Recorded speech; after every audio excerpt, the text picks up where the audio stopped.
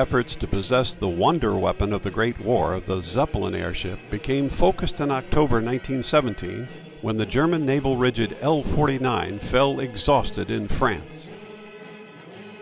Unlike sister L 33, which was purposely landed in England and burned by its crew, the L 49 airshipmen had been altitude sick and could not get their ship to catch fire before Frenchmen rushed up to capture them. Commander of U.S. Air Forces in France, General William Mitchell, arrived to note the airship had been riddled with bullets by French fighter planes. Following the capture, the victors studied and disassembled the air monster. Since the U.S. had few aircraft of its own, French airshipmen were training Americans to operate their large anti submarine non rigid airships. Eventually, all American crews flew the large AT as well as other types. The French had even turned over command of an airship base there in 1918. Sections of the fallen Zeppelin's girders were given to the U.S. Navy representatives, and these were passed to the Aluminum Company of America. Putting some parts of the captured Zeppelin on public display, Frenchmen reverse engineered a set of plans from the L 49 remains and shared them with the Allies.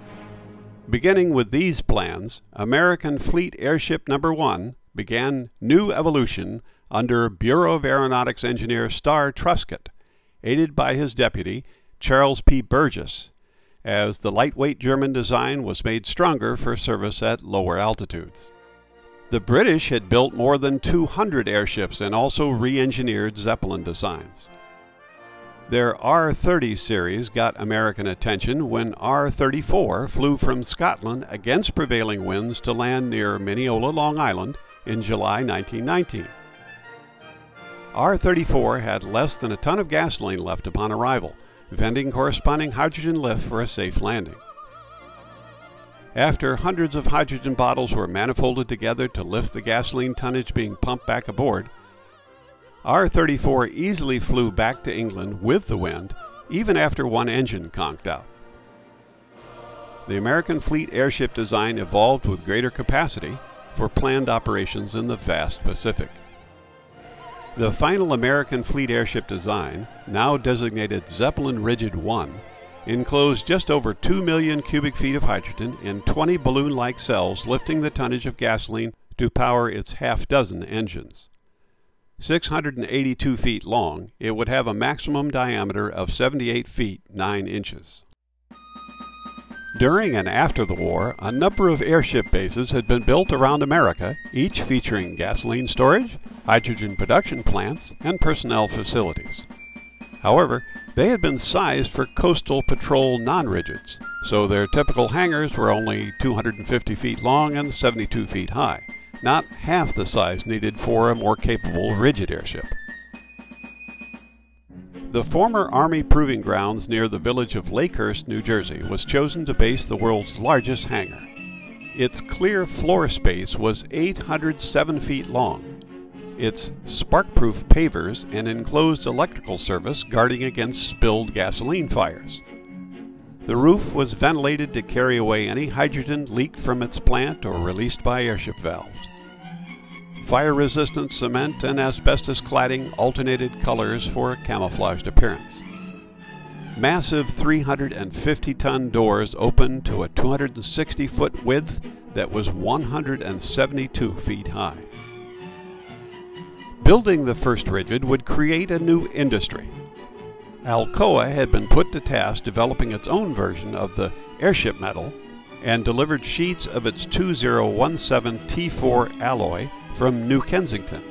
Artisans had to learn how to change woodworking skills into stamping and riveting the duraluminum girders at the Naval Aircraft Factory in Philadelphia.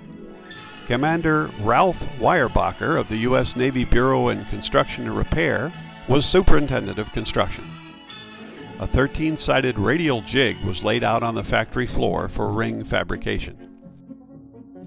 Airship girder assemblies riveted in Philadelphia were partially disassembled, crated, and trucked over to New Jersey for erection in the new hangar.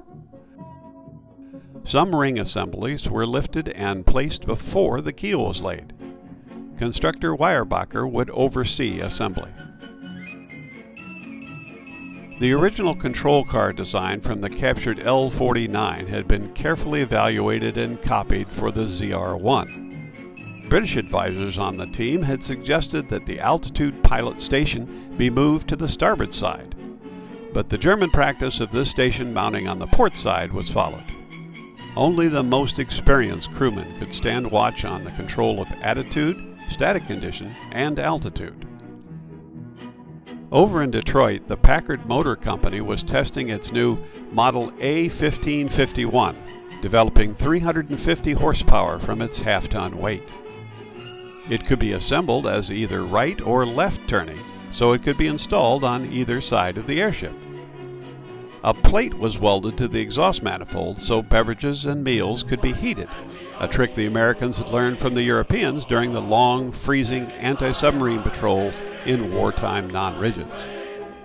The U.S. Army continued this tasty practice as they flew hydrogen non rigids brought back from Europe after the war. The Zeppelin's strong keel design would spread the pinpoint tonnage of loads of gasoline tanks and water ballast bags across the 20 fabric gas bags. Goodyear Tire and Rubber Company got the contract to manufacture these lifting gas cells, made by gluing thousands of bovine intestine shingles to cotton sheets. The goldbeater skins were about the only non sparking material known to retain hydrogen gas, but using them to manufacture large cells was labor intensive. Since each cow's gut only yielded about two and three quarter square feet, each cell was very expensive.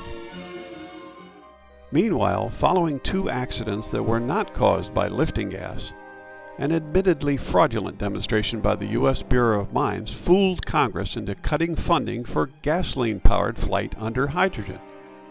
This guaranteed customers for their Texas helium plant, but while $10.8 million had been spent on the entire rigid program to date, the taxpayer then had to cough up an additional $7 million just for the helium. Besides the cost, some officers were bold enough to say this new helium policy would end flying as they knew it. Others acknowledged there was no fighting Congress and accepted the promise that helium would otherwise provide 97% of the lift of hydrogen for all airships. That promise was never kept. The entire fleet of single engine B ships and the entire fleet of twin engine C ships, then setting records perfecting anti submarine warfare at coastal stations around the country, were at once thrown away. Likewise, all the combat tempered airships brought home from Europe were also trashed. In closing those bases, the U.S. Navy was suddenly out of the lighter than air anti submarine business in order to support just one rigid. Since there was no other way to move large quantities of the Texas gas except by compressing it into drawn steel cylinders, thousands of K bottles had to be shipped, stacked so their valve tops could be manifolded into Lakehurst's new underground storage, then disconnected and shipped back to Texas again and again, 220 cubic feet per bottle. Furthermore, extensive helium purification facilities were vital to operation with the Texas gas. With no helium to spare, ZR1's first cell was blown up with air for its test fit. Ramie cord twine, similar to balloon netting, was weaved inside the structure to discourage cell chafing on the girder structure. Acres of high thread count linen were laced to the girder structure, then varnished with airplane standard nitrate dope, which tightened it and kept most of the rain out. As the ship took shape, selected volunteers reported to Lakehurst for training. The new CO, Frank McCrary, had commanded an LTA base in Europe. This first group included three future airship captains who would later reach flag rank. Orville Anderson, Charles Rosendahl, and Herb Wiley. Their instructor was German emigre Anton Heinen, an experienced Zeppelin captain. Training was conducted in hydrogen kite balloons and hydrogen free balloons, which the Navy also entered into balloon races. Neither blimps nor Zeppelins ever had any kind of landing gear, but the British had developed a spindle and cone system to secure their rigids to a strong mast.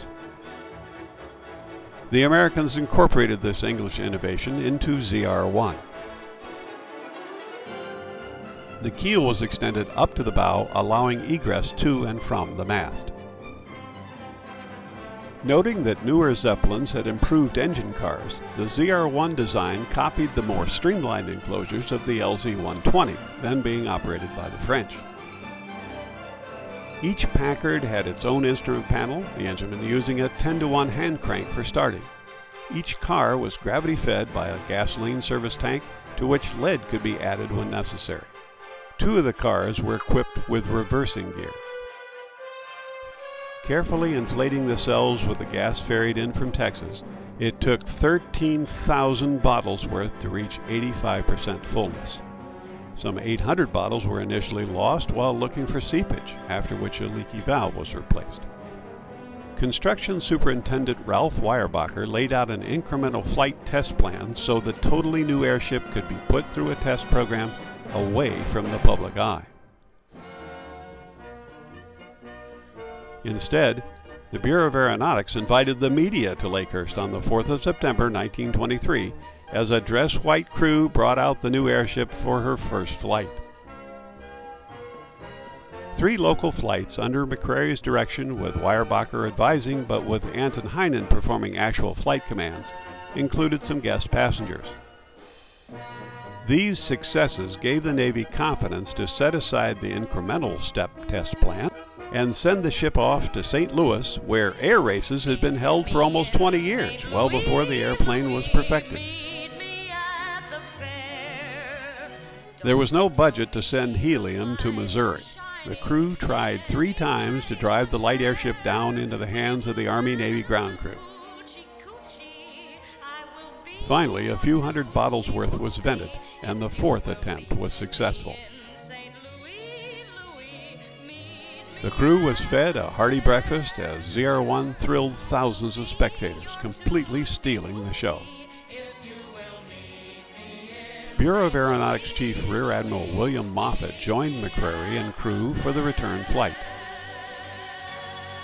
En route, Lieutenant Ronald Mayer discovered some girder sections in the fin had buckled. Designer C.P. Burgess, who was aboard monitoring strain gauge equipment, noted the fins would have to be strengthened one day.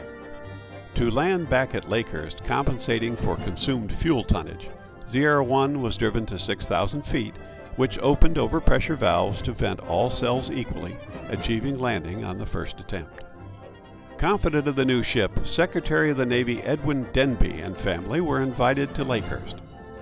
On the 10th of October, Marion Denby christened ZR-1 the USS Shenandoah, said to mean Daughter of the Stars. The dignitaries and some crew members' wives were taken aloft for a short local flight, as reporters were told the new airship would soon be flying to the Arctic.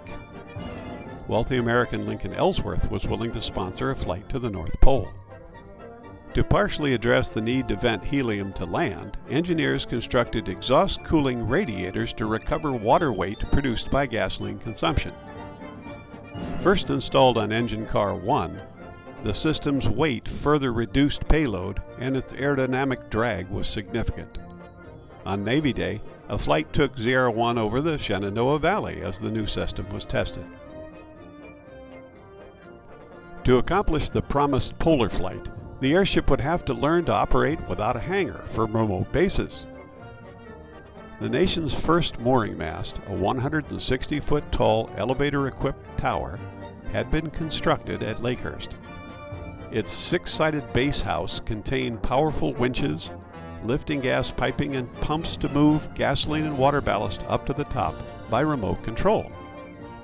Masting technique was not in Zeppelin experience, however, and Anton Heinen's planned method did not work. When British methods were used, ZR-1 was finally masted on November 5th. On the 20th of November, ZR-1 went up to New England, which became her last flight of the year as she was damaged trying to get her back in the hangar against a strong crosswind. Preparations for the Arctic trip continued in earnest.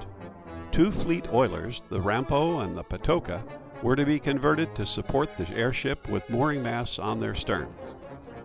For the trip, Weyerbacher and Heinen proposed a return to full efficiency under hydrogen.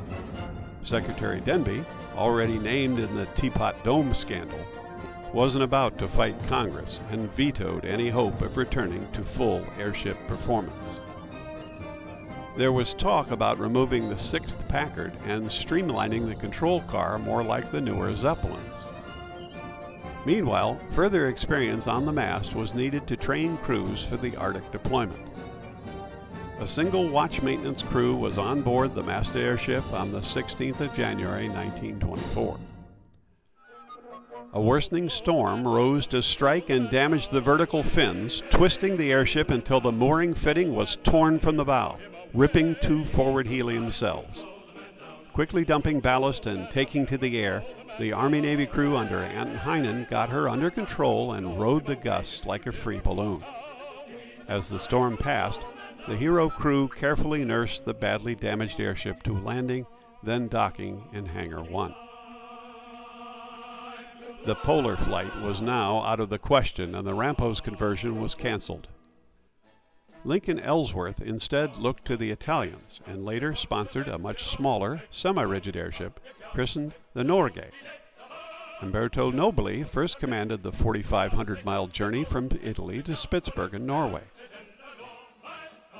At a base not far from the site where American Walter Wellman had launched his first attempt to reach the pole by airship in 1906, the Norge was gassed up and launched with Norwegian explorer Roald Amundsen on board.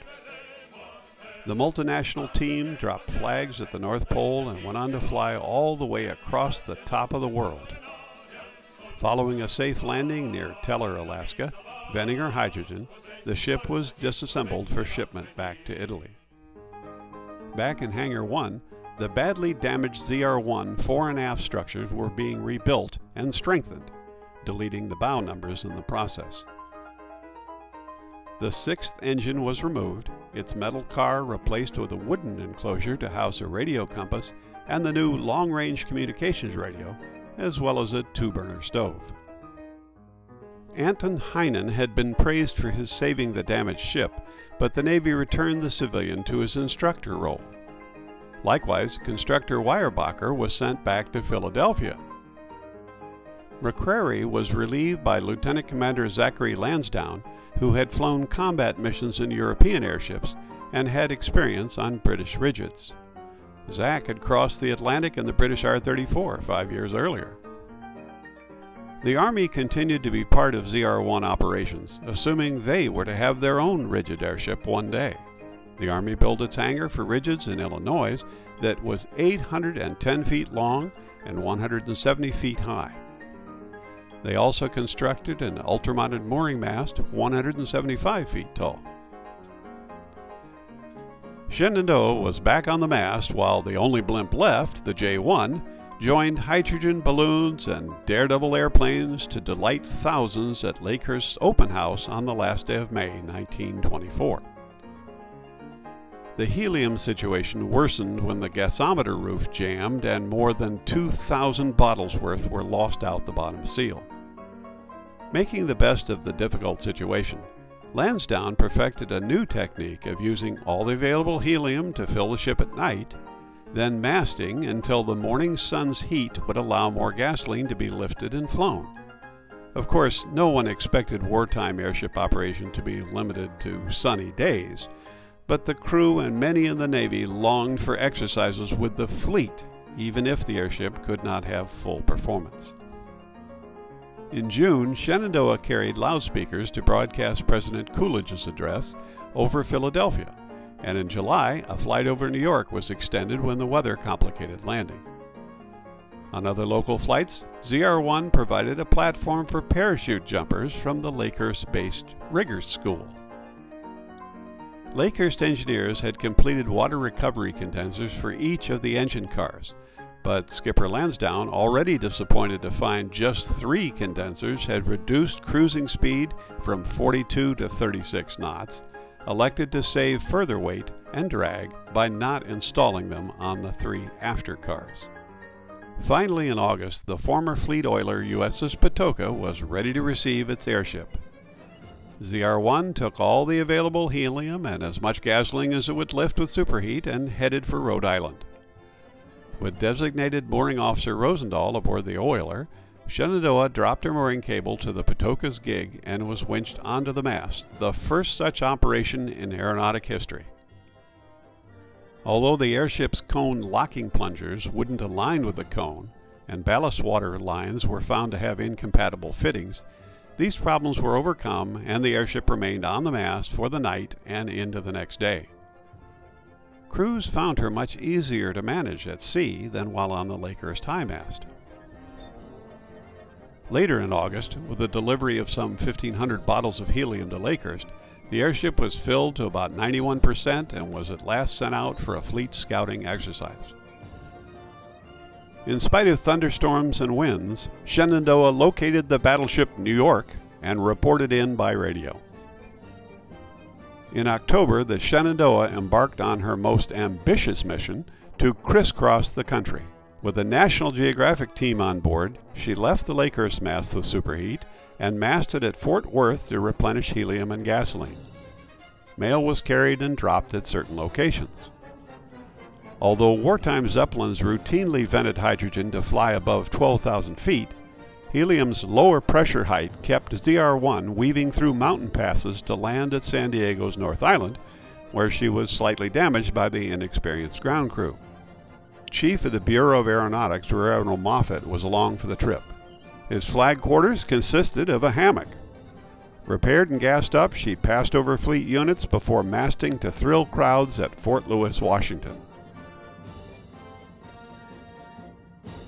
Back at Lakehurst, the long-awaited Zeppelin LZ-126 had set a distance record flying non-stop from Germany, consuming most of her gasoline tonnage and venting quite a lot of her hydrogen to settle gently into her new owner's hands. Redesignated ZR-3, she was propped up and suspended so her remaining hydrogen could be vented by the 18th of October. When Shenandoah returned via San Diego and Fort Worth, she had completed the longest mission she ever made and was berthed alongside. The journey had consumed 2,900 bottles of Texas helium. In spite of promises made, after the $7 million, there was simply not enough helium. The single blimp retained for training purposes, the J-1, had to be trashed to save its helium. ZR1 was then propped up and suspended as well, so her remaining helium and what was left at the station could inflate the ZR3. ZR3 took the helium to Washington, but after several embarrassing failed attempts, more than 300 bottles worth had to be vented for her to be driven down to the ground handlers. There, for the only time in rigid airship history, an American president would briefly climb aboard. Grace Coolidge christened her USS Los Angeles, and the ship carried the First Lady's image as her sponsor mother. Returning to Lakehurst, ZR-3 had to valve helium for more than six full minutes to land. Los Angeles' time with the helium was at first devoted to crew training before her German builders had to return to Europe. The ship then made record-setting flights to moor on Patoka all the way out in Bermuda and also far south to Puerto Rico. Considerable resources would be expended to overhaul and repair the German gas cells, but when finished, they leaked helium at an even greater rate. By June of 1925, her leaky cells and two failed engines would layer up for overhaul, favoring returning the helium to Shenandoah. So once again, both crews worked more than a week to erect platforms to support engine and control cars, install propping timbers and dunnage along the keels, and to loosen the outer covers for bridle installation to suspend the rings from the hangar. The helium policy exacerbated the challenges of these pioneers, long hated by competitors for scarce Navy resources, as they were lampooned in the nation's media. The New York Herald wrote, For war service, the gas bag is to the airplane as the circus fat man is to Jack Dempsey. While Shenandoah cells seeped only about 680 bottles per month, Skipper Lansdowne, after removing several valves and connecting trunks, sought to conserve more helium by ordering covers installed on many of her more leaky overpressure valves. When these covers were then left in place during flight, Zach argued that in the event of a rapid altitude increase, the altitude pilot could open maneuvering valves and the keel watch could quickly remove the covers. Anton Heinen later stated that this was like operating a steam boiler with the safety valves tied off, but the Bureau of Aeronautics approved the changes.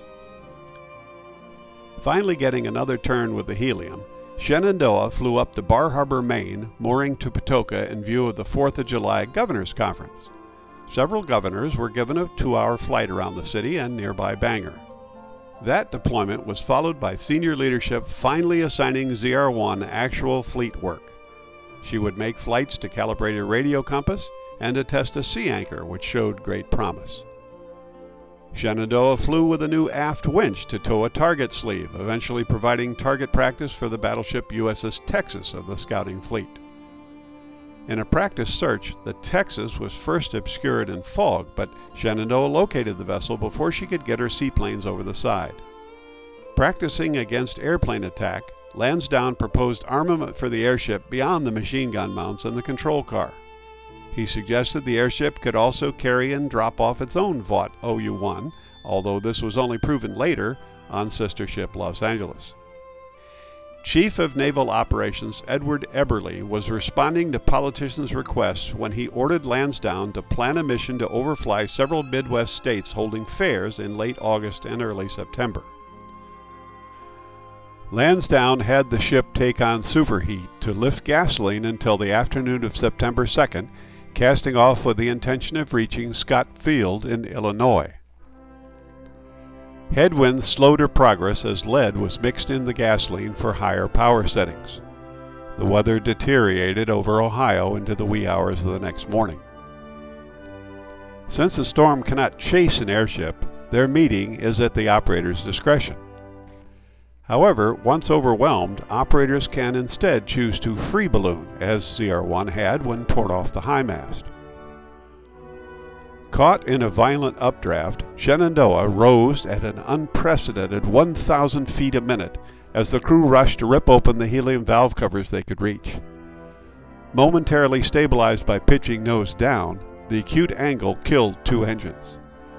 Again rising rapidly past pressure height, the airship reached more than 6,000 feet when wires snapped and girders were heard collapsing. Then descending rapidly, ballast was dropped as crewmen observed several cells cupped and deflating. Another updraft struck the bow, pushing the ship up at some 30 degrees, likely stalling the rest of the gravity-fed carburetor gasoline motors. The damaged structure tore open at frame 125, one man falling to his death. The numerous breaks in the fuel system soaked another man in gasoline, but since there was no electrical power, he and the airship were spared a gasoline conflagration. The control car twisted off and fell, carrying eight more to their doom. Another break lost the two forward engine cars and with them four more men. Those heavy sections slammed down on either end of farmer Andy Gamery's cornfield. His front porch would later serve as a makeshift morgue. The stern drifted further on to break through trees on the Neiswanger farm near Ava. 22 crewmen hung on to safety as the stern came to rest down the hillside. More than a hundred feet of the bow remained buoyant and carried seven crewmen on an hour's ride through 10,000 feet and two miles. Lieutenant Rosendahl directed the men to slash cells as they dropped lines to catch in some hillside trees. Alert farmer Ernest Nichols tied a rope to a branch and provided Rosendahl a shotgun to deflate the remaining cells. Locals comforted the 29 survivors, but word of the crash spread to the nearby county fair. The sites were quickly flooded with folks who never conceived of such a thing as a crash investigation. Hundreds started helping themselves to whatever they could cart away from what must have seemed like some kind of out of this world junkyard.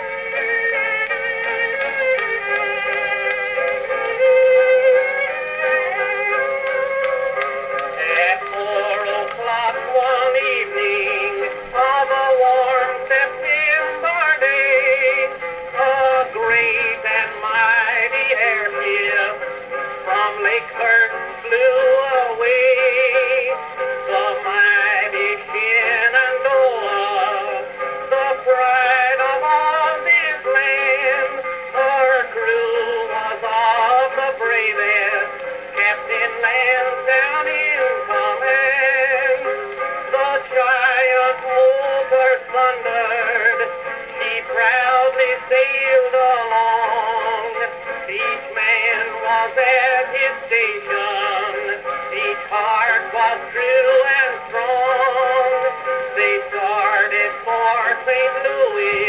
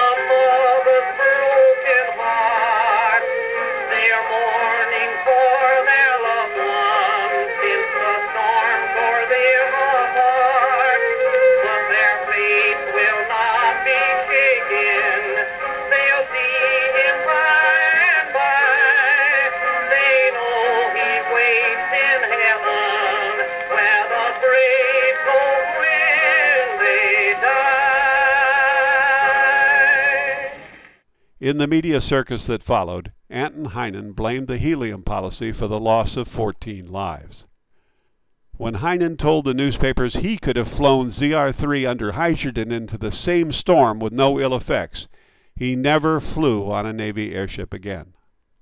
Investigators declined to rule on the valve removal, first stating, The final destruction of the ship was due primarily to large unbalanced external aerodynamic forces arising from high velocity air currents.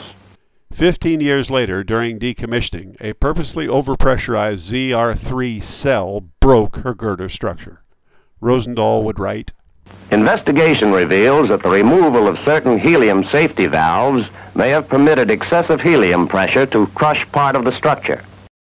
To this day, the government has never apologized for its powered flight helium policy, which forced its airmen into making dangerous choices and crippled a promising technology. Down goes the sun,